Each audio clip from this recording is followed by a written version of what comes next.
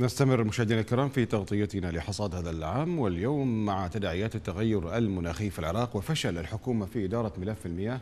معنا في الاستوديو الصحفي والباحث السياسي الدكتور نوري حمدان. مرحبا بك دكتور نوري. أهلا وسهلا بك شكرا وعبر سكايب من ستوكهولم الأكاديمي والمتخصص في شؤون المياه الدكتور نظير عباس الأنصاري. دكتور نظير مرحبا بكم.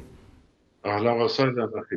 ابدا معك دكتور نظير عباس الأنصاري. العراق يعيش زمن المتناقضات في مناطق من العراق تعاني من الجفاف الحاد وفي مناطق أخرى غرق حاد. يعني من الناحية العلمية وفي مراقبتكم للتغير أو التغيرات المناخية وموقع العراق الجغرافي كيف تفسر ذلك؟ طبعا العراق يقع ضمن منطقة الأوسط. منطقة تعتبر منطقة جافة لا شبه جافة لأنه معدل العام لهطول الأمطار لا يزيد عن 155 ملم سنويا. فلذلك هذه المنطقة أكثر حساسية للتغير المناخي وخاصة العراق بالذات. إضافة إلى التغيرات العامة بالتغير المناخي هناك أسباب أخرى لهذه التغيرات. منها اللي ذكرتوها أنتم مثلا المشاريع الإروائية في تركيا وإيران. غلق كثير من الروافد اللي جاية إلى نهر دجلة من إيران. جفاف الأهوار جفاف المسطحات المائية. التصحر مثل ما تفضلتوا بالتقرير مئة ألف دونم من الأراضي الزراعية تتحول كل سنة إلى مناطق صحراوية. فزائدا هجرة الفلاحين من أراضيهم. طبعا تقارير الأمم المتحدة تذكر آلاف من سكان الأرياف تركوا مناطقهم إلى المدن. زائدا طبعا طبيعة الحياة في العراق تغيرت بشكل كبير جدا بعد 2003 يعني مثلا مثال بسيط جدا على هذا شوف عدد السيارات في بغداد شقد حاليا مقارنة بقبل 2003 كل هذه الأمور تأثر على المناخ العام في العراق. وبالنسبة إلى الفيضانات في بعض المناطق أنا سبق أن نشرت العديد من البحوث من قبل 15 سنة أو أكثر حول هذه النقطة وقلت أنه في بعض الأحيان راح تجي بعض السنين تكون فيها شدة الأمطار كبيرة في فترة زمنية قصيرة مما يسبب فيضانات. وطبعا الفيضانات هذه فوائدها تكون قليلة جدا نسبة إلى الأضرار اللي تسببها هذه الفيضانات. هذه الأمطار بحد ذاتها دكتور هي نعمة. اسمح لي أنتقل للدكتور حمدان. دكتور نوري هذه الأمطار نعمة من الله سبحانه وتعالى. كل الدول المتقدمة تستثمر مياه الأمطار من أجل الاستفادة منها لاحقا. لماذا فقط في العراق؟ عندما تمطر ينزل المطر تغرق الشوارع وتغرق المدينة وأيضا توجد هناك جرحى وتوجد حالة وفاة لطفلة. يعني ما السبب في عدم وجود مشاريع حكومية للاستفادة من مياه الأمطار في العراق؟ نعم شكرا لك حقيقة على هذا السؤال. وهو الحقيقة مثل ما تفضل أيضا ضيفك الكريم بأنه هذه المواسم المطرية تكون هي أمطار غزيرة في وقت محدد تسبب فيضانات وهذه حضرته وكتب يعني نشر في بحوث ونوه إلى أنه يفترض أنه الحكومة تستعد يعني إلى هذه هذا إلى هذا الحدث الذي ممكن أن يسبب أضرار كثيرة على الأراضي الزراعية وحتى على الأراضي السكنية بالنسبة للعراق، طيب وخصوصا إنه إحنا بشكل عام يعني لدينا نقص في المياه بحاجة إلى الاستفادة من هذه المياه التي يعني تسقط بالأمطار على العراق بهذه الفترة القصيرة. ولكن الحقيقة أنه العراق اليوم هو يعاني من أزمة حقيقية في في المنهجية. يعاني أزمة حقيقية في سيستم الدولة. إحنا ما عندنا برامج يعني ما عندنا يعني حقيقة إلى اليوم العراق يعاني من عدم وجود مؤسسات تعمل بشكل مؤسساتي. إلى الآن المؤسسات الحكومية أو هي بدأت تتطور حقيقة بهذا يعني المستوى نتحدث عن 20 سنة يعني هل من المعقول نعم. أن 20 سنة لا لا تكون هناك أي مبادرة لتكوين مثل هذه الأشياء؟ ما ما تكون ما تكون حقيقة لأنه خلال هاي ال 24 سنة هي آه، يعني هم لم يؤسسوا دولة آه، والدولة هي آه، يعني بحاجة إلى فترة زمنية حتى تحقق إدارتها بطريقة مؤسساتية نعم. هم استلموا دولة تسببوا بانهيارها تسببوا بانهيار مؤسساتها تسببوا بكل المشاريع التخطيطية التي يمكن آه، لتطوير آه، البنى التحتية للبلاد، بنى نعم. تحتية بالمطلق ما عندنا بكل وسائل يعني بكل المؤسساتنا بكل مجالات الحياة اليوم اللي موجودة ماكو بنى تحتية لا على مستوى الزراعة ولا على مستوى الري ولا على مستوى الدراسة نعم. يعني حتى التربية وكل هذه المؤسسات نعم. إحنا نفتقر حقيقة لدولة المؤسسات كذلك نفتقر إلى المنهجية. هذا يعني اللي أنا أريد أوصل له حقيقة إنه إحنا اليوم يعني ما وصل إليه الحال. ما وصل إليه بدلا من أن تكون هذه المؤسسه لديها آه، مشاريع معد لها ومخطط لها وهي مشاريع قد تكون آه، يعني سنوية أو خمسية أو عشرية إلى أبعد من ذلك. هذه المشاريع ما مو لا توجد.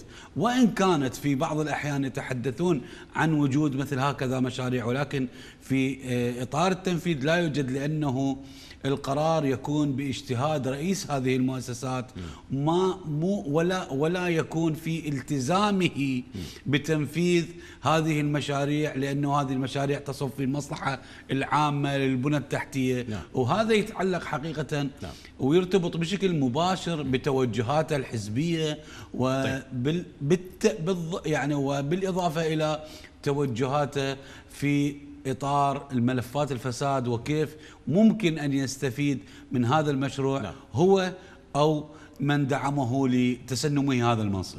نعم. أه، دكتور نظير لماذا لم تعد السدود أه، تخدم حاجة أه، البلاد مع التوجه العالمي والتغير المناخي وزحف الكثبان الرملية والكثافة السكانية ازدياد عدد السكان قلة الموارد الزراعية وهذه الظروف الدولية التي يمر بها العالم. هل من المعقول أنه أكثر من 20 سنة ليس هناك بنى تحتية فيما يخص الموارد المائية لا سدود لا خزانات آه، لا مشاريع من هذا القبيل؟ آه، سؤال جيد جدا. الحقيقة السدود اللي نعتمد عليها آه، هي محدودة. يعني مثلا سد حديثة إحنا نعرف هو على الفرات وتصاريف نهر الفرات قليلة جدا. يعني قبل كنا نستلم بنهر الفرات تقريبا 30 بليون متر مكعب من المياه سنويا كمعدل حاليا بحدود 10 فعندك الفرق. إذا نجي على سد الموصل سد الموصل أصلا في مشكلة. يعني الخزين المفروض التشغيلي هو 11.11 بليون متر مكعب حاليا بحدود الأربعة. وما يقدرون يزيدوه لأنه أكو مشاكل في آه، أسس السد. إذا نجي على آه، آه، سد دربنديخان وحمرين اللي هي على ديالة إحنا نعرف مشكلة آه، المياه في ديالة وقطع إيران للمياه وأصلا دربندي خان أصلا في مشكلة آه، قديمة وهي زحف آه، قسم من الصخور فلذلك ما يقدرون ينزلون منسوب المياه عن حد معين وإلا يحدث انزلاق آخر جديد في السدود في الصخور عفوا وقد يؤدي إلى انهيار السد. السد الآخر اللي نعتمد عليه هو صورة رئيسية هو دوكان. ودوكان يعني سعة الخزنية مو سعة كبيرة جدا. فلذلك أنا يعني من زمان كنت أنبه إلى هذه النقطة وأقول المفروض نتجه إلى المصادر غير التقليدية وأحد هذه المصادر هو الحصاد المائي.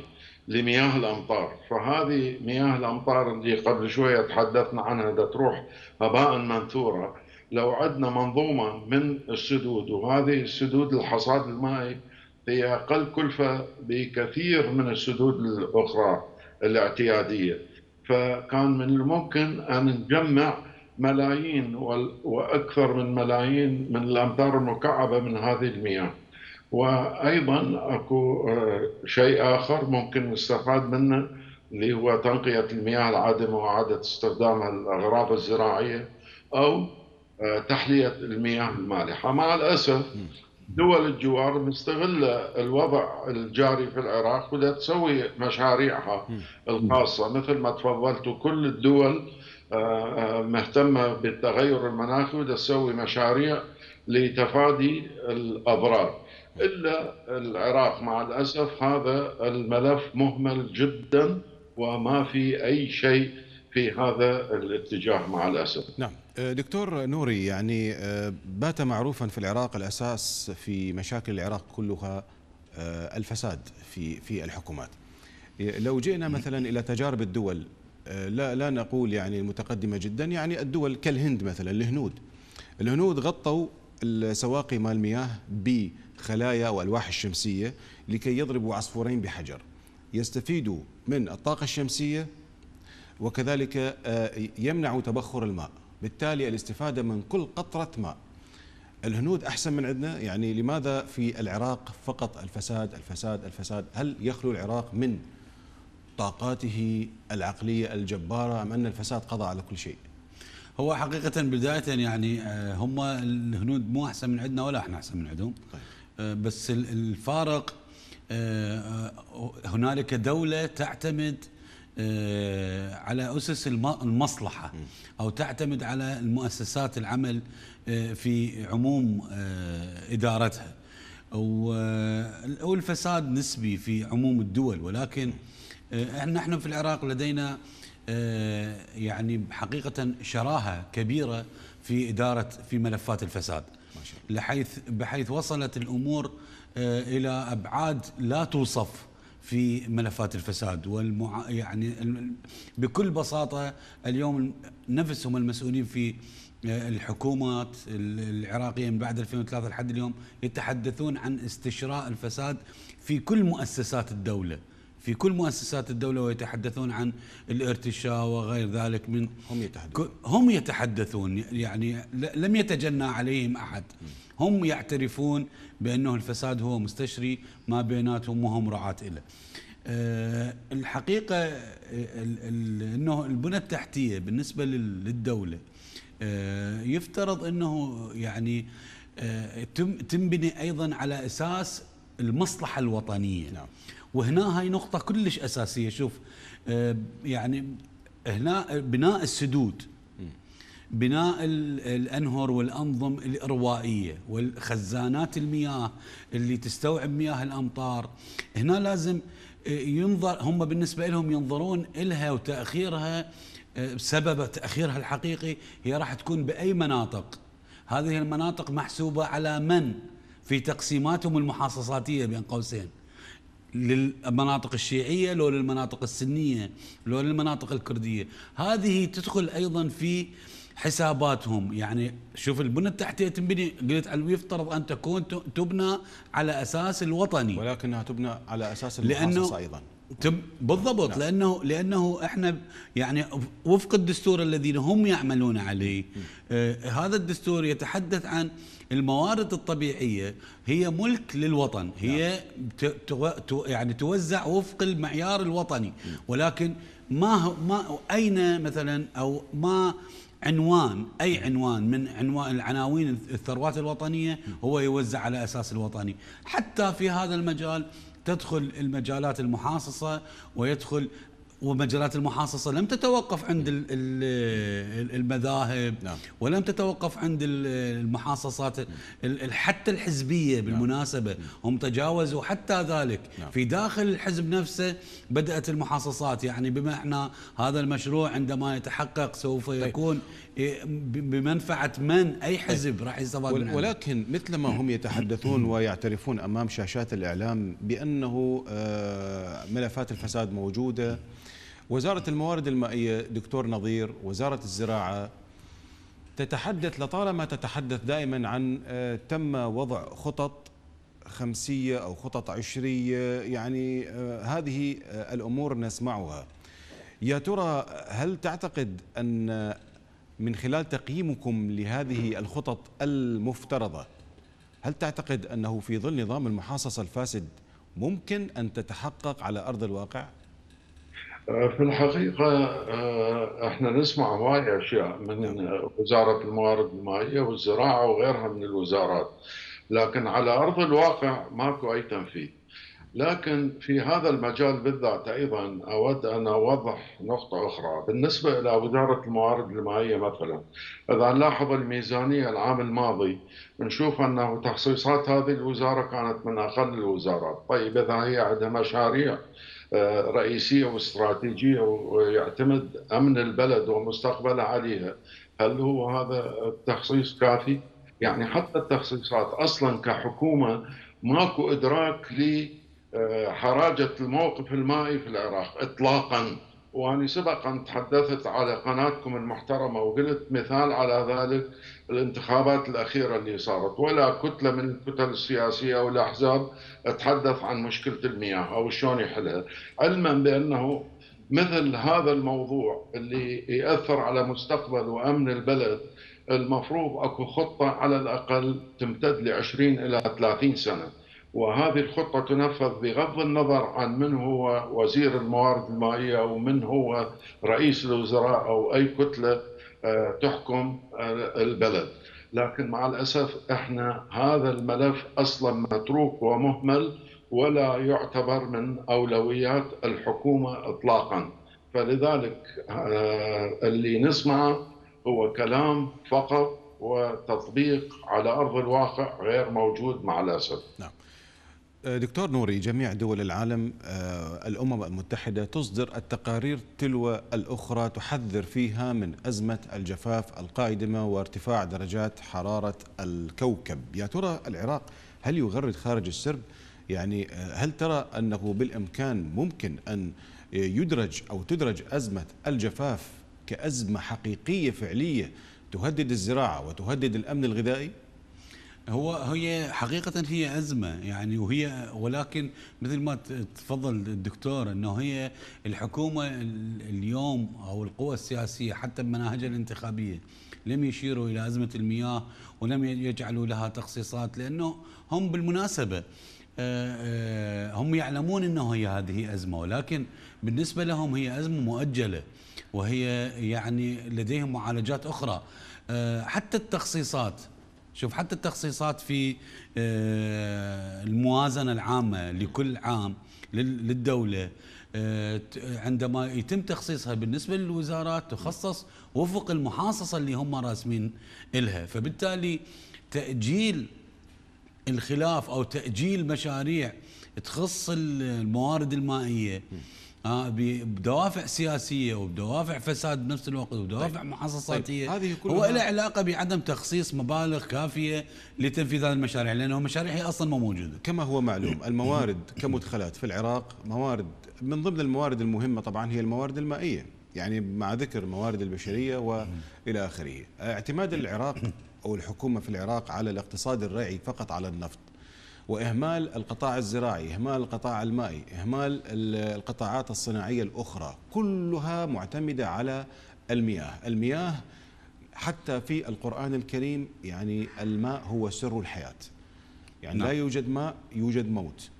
لا, لا حياة. في هذه النقطة هل تعتقد أنه من بالإمكان آه، أن تكون هناك يعني يكون هناك لجان متخصصة أو منظمات متخصصة آه، تقوم ببذر هذه البذور لدى الشعب العراقي أنكم في خطر أن الحكومة فقط تلقي باللائمة وتتهم دول متشاركة في الأنهر فقط ولا تقوم بإنجاز مشاريع لحصاد الأمطار بإنجاز سدود بدعم الثروة المائية بدعم الثروة الزراعية وبالتالي تحقيق الأمن الغذائي هل هناك جهات أخرى ممكن أن تؤثر؟ هو هذه الجهات حقيقة موجودة ولكن تأثيرها لأنه عددها محدود. طيب. أه الحقيقة استسهال اتهام الغير في في التقصير هو السائد في المجتمع مع الأسف العراقي بشكل عام. والإعلام له دور وتأثير بشكل مباشر طيب. في التأثير على المتلقي العراقي بحيث أنه إحنا آه، المياه بالنسبة لنا مشكلتنا الحقيقية هي طيب. اسمح لي. اسمح لي فقط دكتور أنا أتحول فقط لكي نعم. يكفي الوقت لدكتور نظير الأنصاري. دكتور نظير هل الوسائل الإعلامية على مستوى الحدث مثل ما تفضل الدكتور حمدان؟ لا طبعا. آه، وأبسط شيء يعني آه، أقول لك قلت لك آه، وكررت مو من باب التفاخر. صار أكثر من 15 سنة إحنا نكتب بحوث عن هذا الموضوع ونتكلم مؤتمرات عالمية يعني هذه السنة أنا حاضر 15 مؤتمر عالمي أتحدث عن مشكلة المياه في العراق وكيفية حلها. لكن ما ماكو أحد يسمع. لكن إذا البنك الدولي طلع تقرير آه، وسائل الإعلام راسا تتناوله وتتكلم عنه. يعني آخر تقرير كمثال البنك الدولي طلع الأسبوع الماضي. وأنا كان المفروض أشارك في آه، هذا التقرير بس مع الأسف لأسباب صحية ما شاركت. اعتذرت. أصلا الأرقام اللي موجودة بهذا التقرير متواضعة جدا. يعني يقول العراق راح يخسر 20% من الموارد المائية سنة 2040 آه، بينما تقارير أخرى من منظمات الأمم المتحدة تقول إذا بقى الوضع كما هو عليه ونفذت إيران وسوريا وتركيا مشاريعها المائيه لن تدخل قطرة ماء إلى العراق من نهري دجلة والفرات وروافدهم سنة 2040 وأكو تقارير أخرى أيضا تقرير المخابرات الأمريكي. أيضا يتحدث أنه العراق من أحد الدول اللي راح تتأثر بشكل كبير جدا آه، نتيجة شحة المياه. وهاي راح تصير عواقب اجتماعية وصحية وبيئية كبيرة. يعني حاليا إحنا نعرف أنه من تقارير المنظمات الدولية 30% من سكان العراق هم تحت خط الفقر. فإذا استمرت هذه المسألة المشكلة واستمر هجرة استمرت هجرة المزارعين من أراضيهم راح تتفاقم هذه القضية ويزداد نسبة الفقر والجرائم راح تزداد والبيئة راح تتغير بشكل أسوأ مع الأسف. شكرا جزيلا لك من ستوكهولم الأكاديمية المتخصص في شؤون المياه الدكتور نظير عباس الأنصاري وشكرا جزيلا ضيفي في الأستوديو الدكتور نوري حمدان الكاتب والمحلل السياسي العراقي. شكرا